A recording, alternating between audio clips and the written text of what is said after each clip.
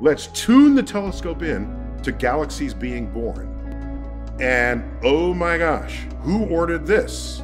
We're finding galaxies in the Dark Ages. The Big Bang Theory describes how the universe began from conditions that are way more extreme than anything we can recreate. So when it comes to the very start of the universe, we're in the realm of educated guesses, and we should be careful about believing any explanation for what caused the Big Bang. But that doesn't mean we can't wonder and ask questions, like what might have existed before the Big Bang. This is Reveal the Mystery, if you are curious to learn mysteries of the world, space, and beyond, consider subscribing.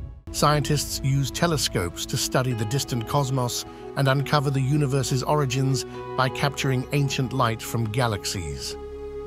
This light, traveling through space, takes time to reach us due to the universe's expansion. Initially, early photons bounced off free electrons, making the early universe opaque. About 380,000 years after the Big Bang, these photons were released, eventually shifting into the microwave range as the universe expanded, leading to the discovery of cosmic microwave background radiation. Anything before this era is beyond our observation, leading to the use of projections for insights into earlier epochs.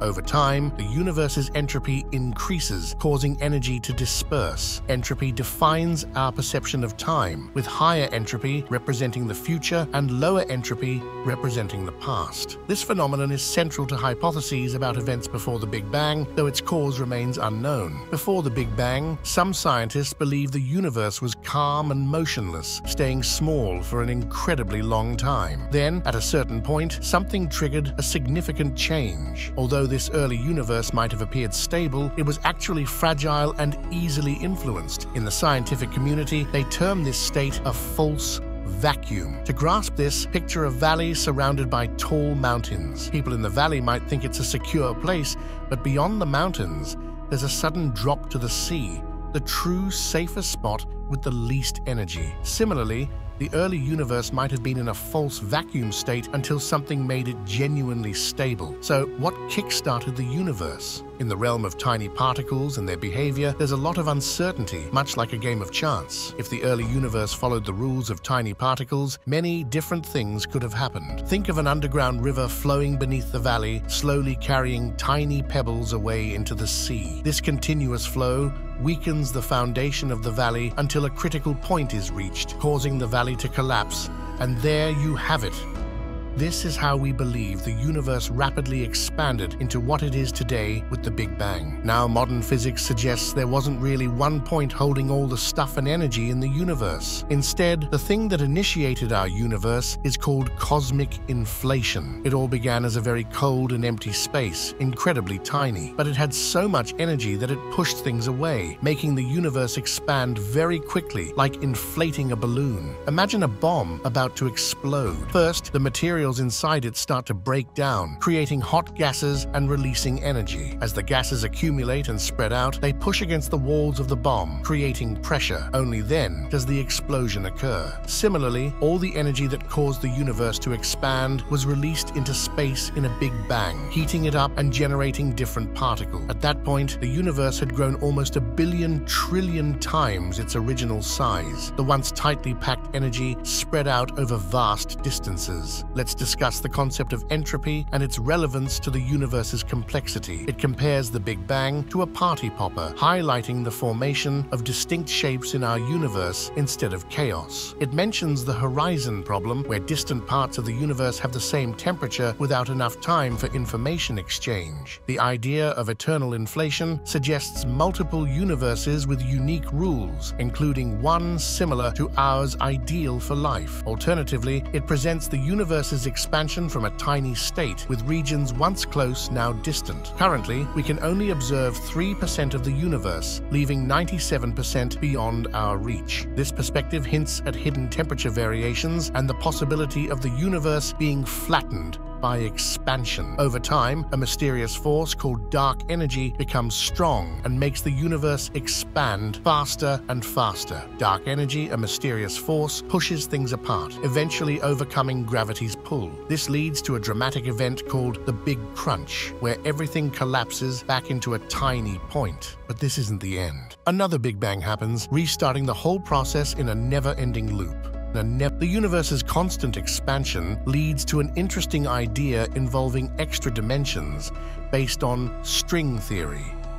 It's called brane cosmology. Picture everything in existence as a huge cosmic book. Each page of the book exists in a lower dimension than the book itself. Scientists call these flat surfaces branes, and the idea is that they represent different universes, each following its own set of rules. These branes can move and bump into each other. When they collide, they produce a lot of heat and energy, leading to the Big Bang. The universe began with the Big Bang about 13.8 billion years ago, starting with the incredibly hot and dense Planck epoch. During this period, the universe was extremely tiny. With the Planck time and Planck length as its limits, it was a time of chaos and high energy, leading to the creation of tiny black holes and wormholes. After the Planck epoch, the universe entered the grand unification period where fundamental forces separated. Gravity became distinct and energy levels were exceptionally high, around 0.00000000012 seconds after the Big Bang, electricity and the weak nuclear force began to separate, and the Higgs field appeared, giving particles mass. This Higgs mechanism shaped the building blocks of the universe. Baryogenesis occurred during this hot period, resulting in a tiny surplus of matter over antimatter, which led to the universe being filled with matter like what we're composed of. The universe seemed just right with its constants and conditions. About one millionth of a second after the Big Bang, it had cooled down to about 10 billion degrees. At this point, tiny particles called quarks joined together to create protons and neutrons. Around three minutes after the Big Bang, the universe was a bit cooler, about 1 billion degrees or less, and something called nucleosynthesis happened. It's when simple atomic nuclei like hydrogen and helium formed in big numbers. This was a big deal because these nuclei are like the basic building blocks for making everything else in the universe, like stars and planets. Fast forward to about 380,000 years after the Big Bang, and things had cooled down to around 3,000 degrees. At this time, the first molecule, made of helium and H2, appeared. It was a shift from simple atoms to complex molecules. This allowed for new chemical reactions to happen, setting the stage for the creation of more complicated molecules and structures. Also, electrons finally stuck to nuclei, and light could travel freely through space. This made the universe transparent and allowed us to see its history. Over billions of years, the universe changed. Dark matter, which doesn't give off light, started to have a big influence because it's much heavier than regular matter. Scientists think there's about six times more dark matter than regular matter. Dark energy, another mysterious force, began to take over the universe's expansion around 5 to 6 billion years ago. We still don't really understand what these forces are all about, so what's next for our universe? We're not sure.